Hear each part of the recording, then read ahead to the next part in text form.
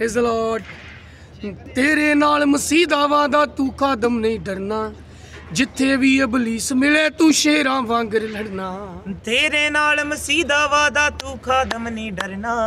ਜਿੱਥੇ ਵੀ ਅਬਲੀਸ ਮਿਲੇ ਤੂੰ ਸ਼ੇਰਾਂ ਵਾਂਗਰ ਲੜਨਾ ਉਹ ਆਪੇ ਕਟਿਆ। ਜਾਵੇਗਾ ਜਿਹੜਾ ਹੱਥ ਤੇਰੇ ਤੇ ਵਾਰ ਕਰੇ। ਉਹ ਆਪੇ ਕੱਟਿਆ ਜਾਵੇਗਾ ਜਿਹੜਾ ਹੱਥ ਤੇਰੇ ਤੇ ਵਾਰ ਕਰੇ। ਮੈਂ ਐਸੀ ਸੰਗਤ ਨਹੀਂ ਛੱਡਣੀ ਜਿਹੜੀ ਇਬਨ ਖੁਦਾ ਨਾਲ ਪਿਆਰ ਕਰੇ। ਮੈਂ ਐਸੀ ਸੰਗਤ ਨਹੀਂ ਛੱਡਣੀ ਜਿਹੜੀ ਇਬਨ ਖੁਦਾ ਨਾਲ ਪਿਆਰ ਕਰੇ। ਬਸ ਸੁਬਹ ਸ਼ਾਮ ਦੁਪਹਿਰ ਵੇਲੇ ਅੰਜੀਲ ਦਾ ਜੋ ਪ੍ਰਚਾਰ ਕਰੇ। ਬਸ ਸਵੇਰ ਸ਼ਾਮ ਦੁਪਹਿਰ ਵੇਲੇ ਅੰਜੀਲ ਦਾ ਜੋ ਪ੍ਰਚਾਰ ਕਰੇ। ਇਸ ਲਾਰਡ ਹਾਲੇਲੂਇਆ ਜੀਸਸ